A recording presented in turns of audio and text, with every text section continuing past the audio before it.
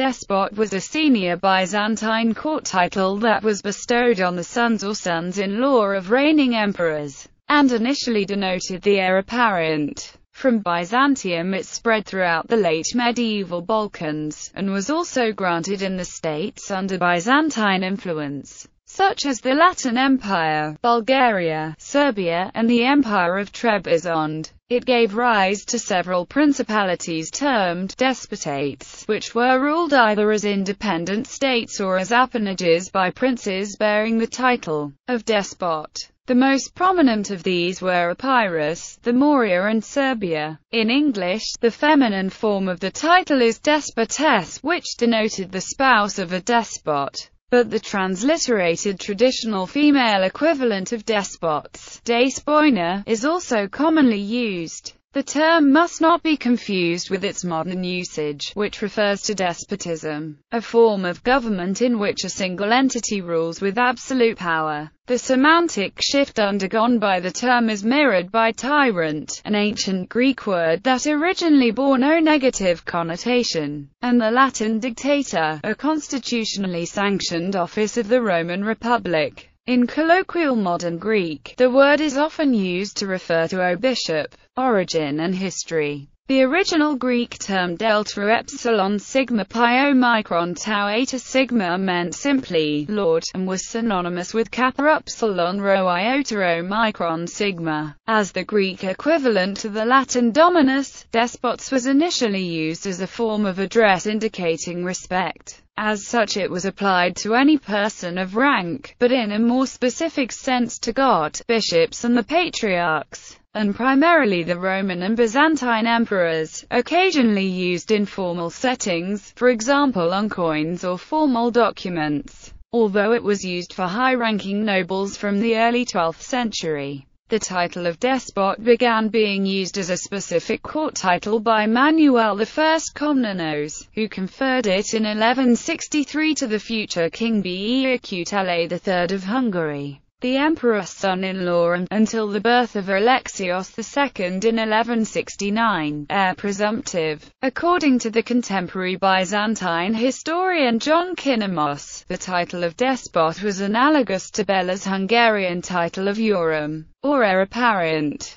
From this time and until the end of the Byzantine Empire, the title of despot became the highest Byzantine dignity, which placed its holders immediately after the emperor. Nevertheless, the Byzantine emperors from the Komnenoi to the Paleologoi, as well as the Latin emperors who claimed their succession and imitated their styles, continued to use the term despots in its more generic sense of lord in their personal seals and in imperial coinage. In a similar manner, the holders of the two immediately junior titles of Sebastocrator and Caesar could be addressed as despotar. The despot shared with the Caesar another appellatory epithet, eutychestatos or paneutychestatos. During the last centuries of Byzantium's existence, the title was awarded to the younger sons of emperors as well as to the emperor's sons-in-law. The title entailed extensive honors and privileges, including the control of large estates. The domains of Michael VIII's brother John Palaiologos for instance included the islands of Lesbos and Rhodes, to finance their extensive households. Like the junior titles of Sebastocrator and Caesar however, the title of despot was strictly a courtly dignity, and was not tied to any military or administrative functions or powers. Women could not hold a noble title, but bore the titles of their husbands. Thus the spouse of a despot, the despotissa, had the right to bear the same insignia as he. Among the women of the court, the despotissa likewise took the first place after the empress. The use of the title spread also to the other countries of the Balkans. The Latin Empire used it to honor the Doge of Venice Enrico Dandolo and the local ruler of the Rhodope region, Alexius Slav. After California, 1219 it was regularly borne by the Venetian podestas in Constantinople, as the Venetian support became crucial to the empire's survival. In 1279 80ths, it was introduced in Bulgaria to placate the powerful magnate George Terter in 1279 80ths.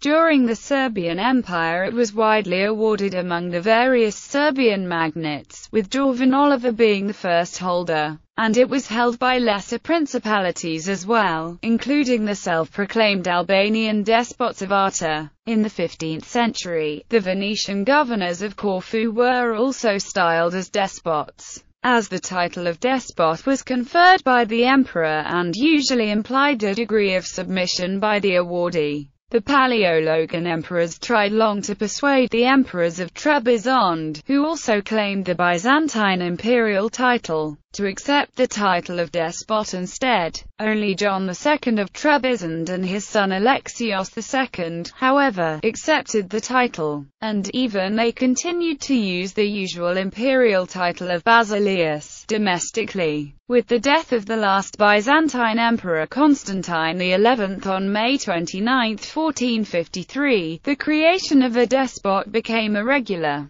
The title was granted by Pope Paul II to Andreas Palaiologos, heir to the Byzantine throne in 1465, and by the King of Hungary to the heirs of the Serbian despotate. Despotates from the mid-14th century on, various territories were given to imperial princes with the rank of despot to rule as semi-autonomous appanages, some of which have become widely known as despotates, chiefly the despotate of Epirus and the despotate of the Morea. It is important to stress that the term despotate is technically inaccurate.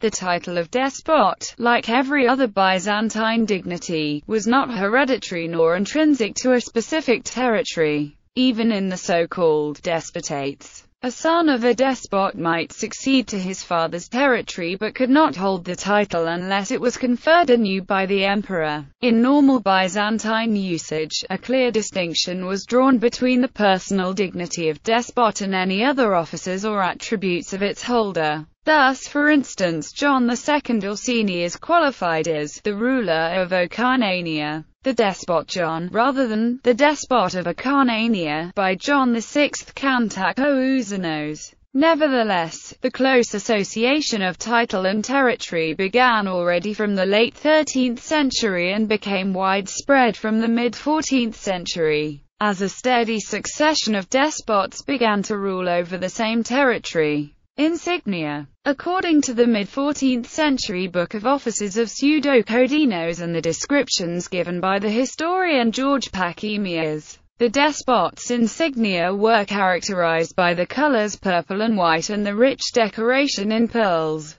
In detail, the insignia were a brimmed hat called skiadion studded with pearls, with a neck cover with the owner's name embroidered in gold and pendants, similar to those of the emperor. The skiadion was an everyday headgear, but it was forbidden to despots who had not reached adolescence to wear it indoors. For ceremonies and festivities, the despot wore the domed skaranikon, decorated with gold metalwork, precious stones and pearls, a red tunic similar to the emperor's, with gold embroideries of the Rizai style, but without military insignia, red leggings and a red cloak with broad stripes. For festive occasions, the long kaftan-like kabbadion was worn, of red or purple color and decorated with pearls. A pair of purple and white soft boots, decorated with imperial eagles made of pearls on the instep. The spurs were also bicolored, purple and white. In a few cases where emperors wished to show special favor to a son, red boots like the emperor's were substituted, elevating its holder to an undefined quasi-imperial rank, above the despot's.